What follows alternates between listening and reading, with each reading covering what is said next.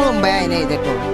വേങ്ങര മണ്ഡലത്തിൽ ആര് ജയിക്കും ഇതിൽ നമ്മളിതിൽ ജിജി മോൾ ജയിക്കുന്നുള്ളതാണ് ജനങ്ങളുടെ ആവേശത്തിന് ഈ ചൂടിലും ഒട്ടും കുറവില്ല. ആർക്കാണ്? ഞങ്ങളെ നാട്ടിൽ കുഞ്ഞാപ്പാക്ക്. ആരാ ജയിക്കുക? കുഞ്ഞാപ്പ.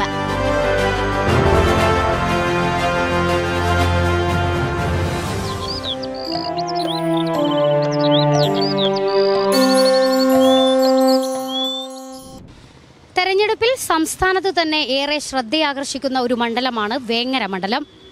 മുസ്ലിം ലീഗിന്റെ മുതിർന്ന നേതാവ് പി കെ കുഞ്ഞാലിക്കുട്ടി മത്സരിക്കുന്നത് കൊണ്ടുകൂടിയാണ് വേങ്ങര മണ്ഡലം ഇത്രയേറെ ശ്രദ്ധയാകർഷിക്കുന്നത്. അതേസമയം പി കെ കുഞ്ഞാലിക്കുട്ടിക്കെതിരെ ഇടതുപക്ഷത്തു നിന്ന് പി ജിജിയും സ്വതന്ത്ര സ്ഥാനാർത്ഥിയായ സബാഹും ഉൾപ്പെടെയുള്ളവർ രംഗത്തുണ്ട്. വേങ്ങരയിൽ ആര് ജയിക്കും? ജനം പറയട്ടെ.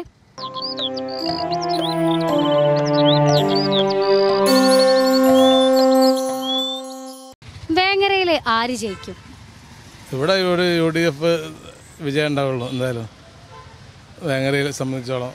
ഒരു ഒറ്റ മത്സരമാണെങ്കിൽ ഒരു പ്രതീക്ഷ ഉണ്ടായിരുന്നു. പക്ഷെ മത്സരം വ്യത്യസ്തമായിട്ടില്ല വരുന്നത്. അതുകൊണ്ട് യു ഡി എഫിന് സാധ്യത കാണുന്നത്. എൽ ഡി എഫിന്റെ ഭരണ നേട്ടങ്ങൾ ഒന്ന്. പിന്നെ എതിർപക്ഷത്ത് ഈ കുഞ്ഞാലിക്കുട്ടി പാർലമെന്റിൽ മത്സരിച്ചു. അവിടെ പോയി. അവിടെ പിന്നെ വർഗീയതയ്ക്ക് പോരാടെന്ന് പറഞ്ഞു. അതിലൊന്നും ചെയ്യാൻ കഴിയില്ല. ഇവിടെ വീണ്ടും പിന്നെ കേരളത്തിൽ വന്ന് മത്സരിക്കണേ. അങ്ങോട്ടും ഇങ്ങോട്ടും മാറി മാറി മത്സരിക്കുകയാണ്.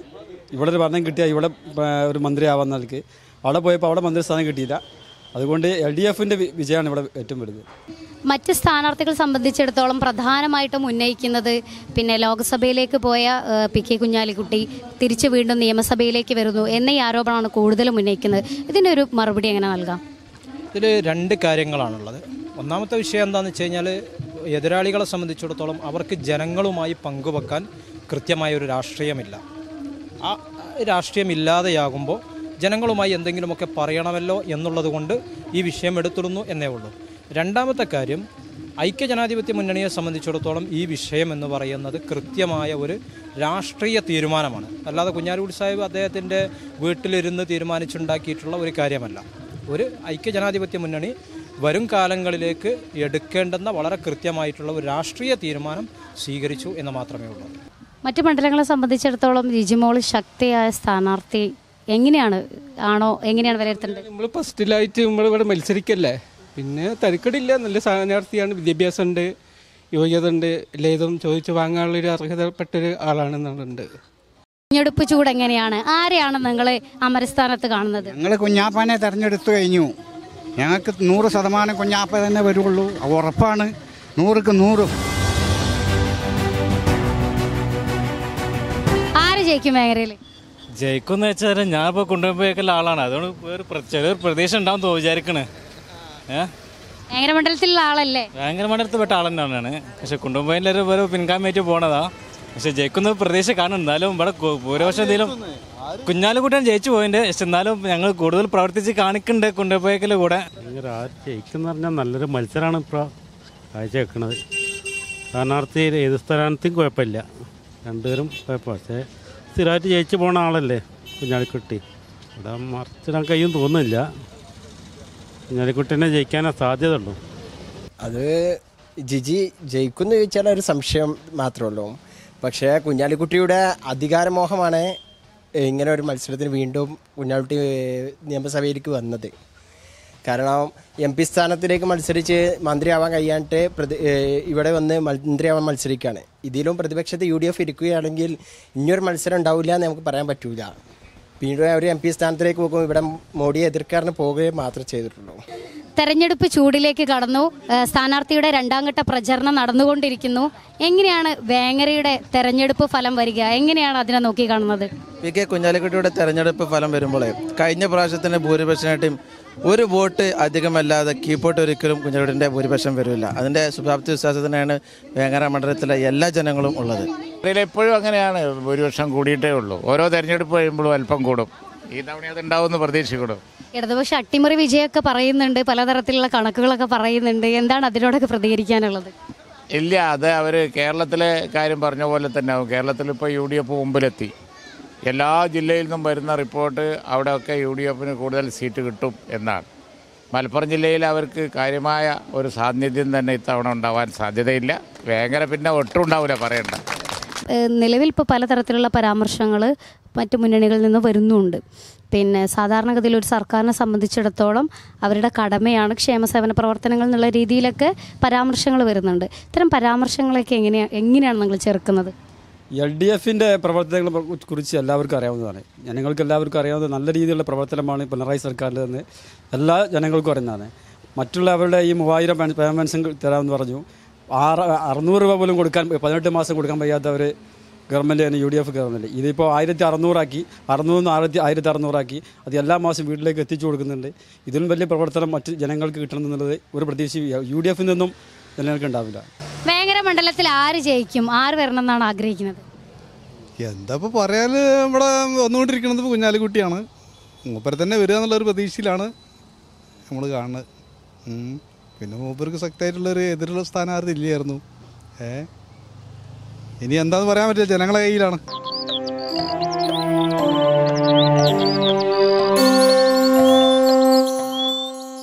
ചേച്ചിന്റെ വോട്ട് ആർക്കാണ്? ആരാണ് ഇവിടെ ജയിക്കുക കുഞ്ഞാലിക്കുട്ടി ജയിക്കും. കുഞ്ഞാലിക്കുട്ടിക്ക് കൊടുക്കണം എന്ന് തന്നെയാണ് താല്പര്യം. ഇതുവരെ അതിന് തന്നെയാണ് ചെയ്തതും. ഇനിയും മുന്നോട്ട് പോകണം കുഞ്ഞാലിക്കുട്ടി. നമ്മളെ നാടിനെ രക്ഷിക്കണം. അത്രയേ ഉള്ളൂ. കുഞ്ഞാലിക്കുട്ടി തന്നെ നമ്മളെ വരണത്തിൽ വരണം എന്നാണ് ഞങ്ങളുടെ വിശ്വാസം. ആത്മവിശ്വാസം അതാണ്. കുഞ്ഞാലിക്കുട്ടിയോട് ഇത്ര ഒരു സ്നേഹം അത് മുഖത്ത് കാണാം. എന്തുകൊണ്ടാണ്? അത് കുഞ്ഞാലിക്കുട്ടിന്റെ ഒരു പിന്നെ എല്ലാം കൊണ്ടുള്ള ഒരു സൗഹാർദ്ദമുണ്ട്.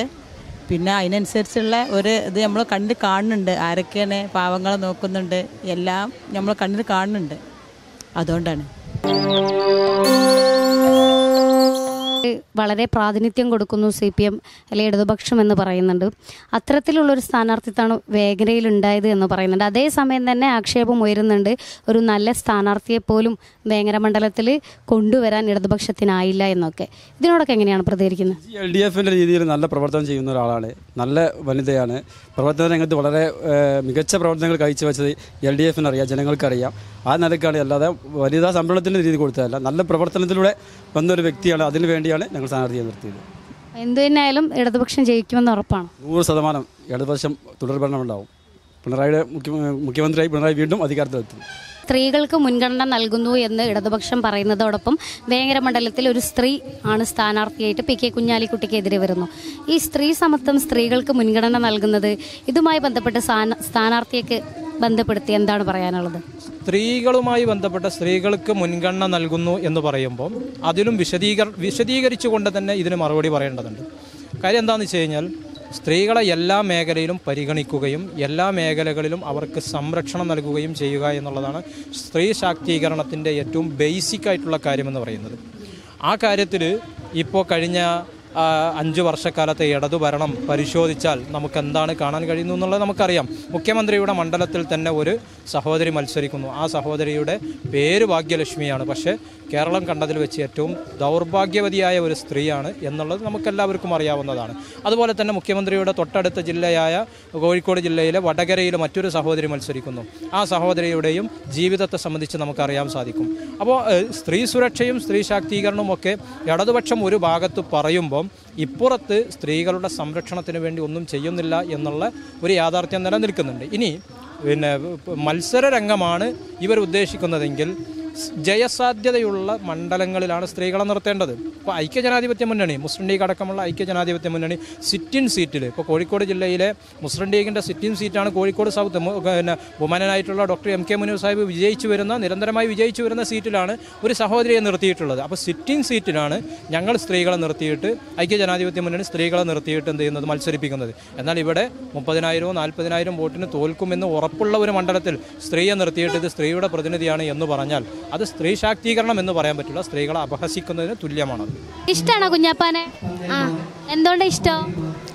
കുഞ്ഞാലിറ്റി നല്ലതൊക്കെ ചെയ്യും. ഉമ്മയിലൊക്കെ ആർക്കാ ചെയ്യാ? ഞങ്ങളെ വീട്ടിലുള്ള എല്ലാവരും കുഞ്ഞാലിക്കുട്ടിക്കാനും ചെയ്യാം. എനിക്ക് ഇടതുപക്ഷ സ്ഥാനാർത്ഥിയെ സംബന്ധിച്ചിടത്തോളം വിലയിരുത്തൽ എങ്ങനെയാണ്? ഇടതുപക്ഷത്തെ സ്ഥാനാർത്ഥി നല്ല സ്ഥാനാർത്ഥിയാണ്. പക്ഷെ എന്താ വെച്ചാൽ ഇവിടെ ഒരു ഭൂരിപക്ഷ യു ഡി എഫ് കേന്ദ്രമല്ലേ ഒരു പൊന്നാപുരം കോട്ടയം തന്നെ യു ഡി എഫിന് പറയാം.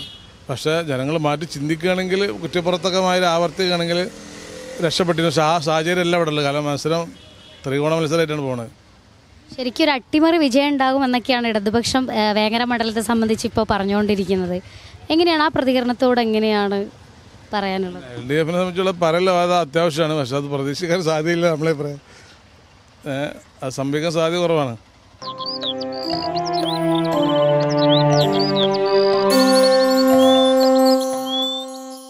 സാധാരണ പ്രചരണങ്ങൾ എല്ലാ പ്രാവശ്യവും ഇടതുപക്ഷത്തിന്റെ ആളുകൾ ഇവിടെ പ്രചരണം നടത്താറുണ്ട്. പക്ഷെ അതൊന്നും വിജയിക്കാറില്ല. പിന്നെ കിറ്റിന്റെ കാര്യം നമുക്കറിയല്ലോ. കിറ്റ് എന്ന് പറഞ്ഞാൽ പ്രളയത്തിൽ നമ്മുടെ കോവിഡിന്റെ സമയത്ത് ജനങ്ങൾക്കുള്ള ബുദ്ധിമുട്ടിന്റെ സമയത്ത് കൊടുത്ത കിറ്റ് ഇപ്പോൾ ഒരു ബോട്ടാക്കി മാറ്റുന്ന ഒരു അവസ്ഥയാണ്. കിറ്റ് പറഞ്ഞാൽ ആ സമയത്ത് ഉച്ചക്കഞ്ഞി സ്കൂളുകളിലെ വിദ്യാർത്ഥികൾക്കൊന്നും ഉച്ചക്കഞ്ഞി കൊടുക്കുന്നില്ല മറ്റ് സംഭവങ്ങളൊന്നുമില്ല. അപ്പോൾ അത് മാറ്റിയിട്ട് കിറ്റാക്കി വരുന്നു എന്നുള്ളത് മാത്രമേ ഉള്ളൂ. പിന്നെ പെൻഷൻ എന്ന് പറഞ്ഞാൽ ഉമ്മൻചാണ്ടി സർക്കാരിന്റെ കാലഘട്ടത്തിലാണ് ആയിരത്തി ഇരുന്നൂറ് രൂപയാക്കിയത് അച്യുതാനന്ദന്റെ അറുന്നൂറ് ആയിരത്തി ഇരുന്നൂറാക്കി അതിന്റെ ഒരു വർധനവ് ഇപ്പോഴും വന്നിട്ടില്ലല്ലോ. ഇപ്പോഴും അവർ പ്രകടന പത്രികയിൽ രണ്ടായിരത്തി അഞ്ഞൂറ് കൊടുക്കുന്നു. അടുത്ത അഞ്ച് വർഷത്തേക്ക് പറയുന്നത്. അത് ഈ സമയത്ത് കൊടുക്കേണ്ടതാണ്. ശരിക്കും ഒരു മണ്ഡലത്തെ സംബന്ധിച്ചിടത്തോളം നമുക്ക് അങ്ങനെ പറയാൻ പറ്റും. അത്രയും വലിയ രീതിയിലൊക്കെ ക്ഷേമസേവന പ്രവർത്തനങ്ങൾ ഒരു സർക്കാർ കാഴ്ചവെച്ചിട്ടുണ്ടെങ്കിൽ എന്ത് തന്നെയായാലും ഇടതുപക്ഷത്തെ സംബന്ധിച്ചിടത്തോളം ഒരു പ്രതീക്ഷയല്ല വേണ്ടത്?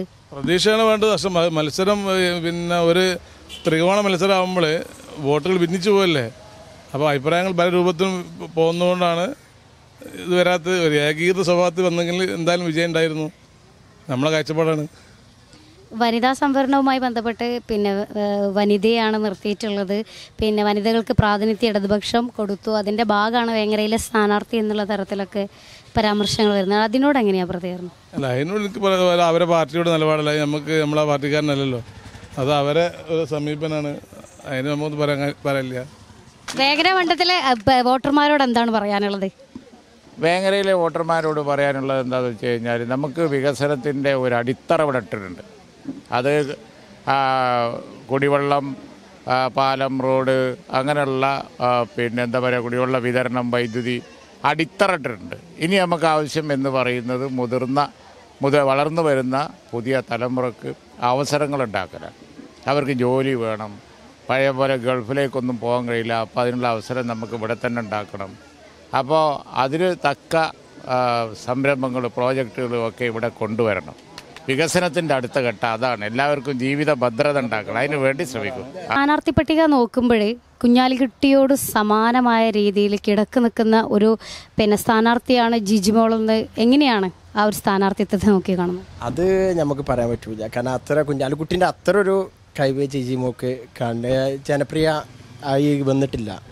ഈ മത്സരം അത്ര അങ്ങോട്ട് വാശിയില്ലെങ്കിലും കുഞ്ഞാലിക്കുട്ടിന്റെ ഈ അധികാരമോഹം മനസ് മനസ്സിലാക്കി ജനങ്ങൾ മാറ്റി ചെയ്യുകയാണ് ചെയ്യും.